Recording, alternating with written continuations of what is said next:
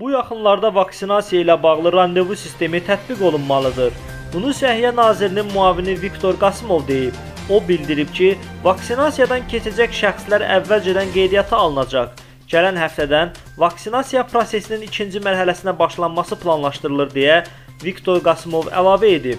Qeyd edək ki, Azərbaycanda vaksinasiya prosesinə yanvarın 18-dən başlanılıb.